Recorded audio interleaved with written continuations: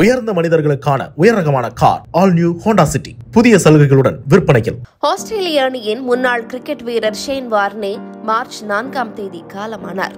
மாரடைப்பு காரணமாக அவர் தாய்லாந்தில் உயிரிழந்தார்.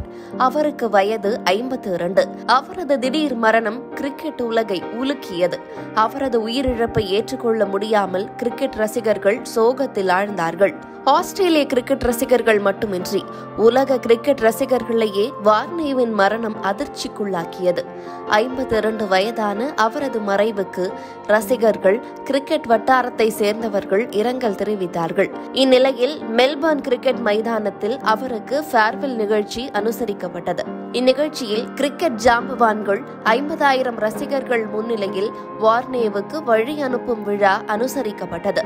மேலும் மெல்பர்ன் மைதானத்தில் உள்ள ஒரு ஸ்டாண்டிற்கு ஷேன் வார்னே ஸ்டாண்ட் என்று பெயரிடப்பட்டுள்ளது. இந்த விழாவில் கலந்து கொண்ட பலரும் வார்னே குறித்தான அன்பை பகிர்ந்து கொண்டார்கள். குறிப்பாக வார்னேவின் முகத்தை தன்னுடைய தொடையில் டாட்டூவாக குத்தி வந்த ரசிகை ஒருவர். அவர் குறித்து நெகிழ்ச்சியான விஷயத்தை பகிர்ந்து கொண்டார். கெல்லி என்ற அந்த பெண் தன்னுடைய தொடையில் வார்னேவின் முகத்தை தத்ரூபமாக டாட்டூ குத்தி இருந்தார் இது குறித்து பேசிய அவர் நான் இருபத்தி மூன்று வருடங்களாக குடும்ப சிக்கலிலும் மன உளைச்சலுக்குள்ளான உறவிலும் சிக்கி தவித்தேன். ஒருமுறை என்னை சந்தித்த வார்னே என்னை நானே காதலிக்க கற்றுக் கொடுத்தார். அதற்கு பின் நான் பல முறை அவரிடம் பேசினேன். நாங்கள் நண்பர்களாகவே இருந்தோம்.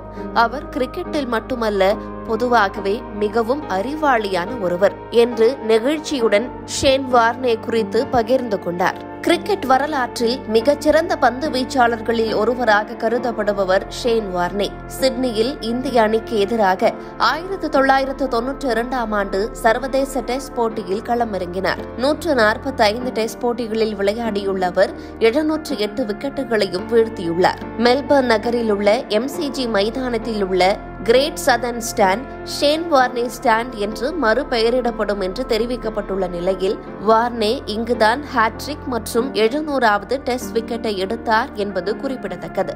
ஷேன் வார்னேவின் குழந்தைகளான புரூக் ஜாக்சன் சம்மர் ஆகியோர் இந்த ஸ்டாண்டை திறந்து வைத்தார்கள். பல்லாயிரக்கணக்கான ரசிகர்கள் கலந்து கொண்ட இந்த நிகழ்ச்சியில் மெழுகுவர்த்தி ஏந்தி கண்ணீர் மல்க வார்னேவை வழி அனுப்பி வைத்தார்கள். உயர்ந்த மனிதர்களுக்கான உயர் ரகமான car all new Honda City புதிய சலுகைகளுடன் விற்பனையில்.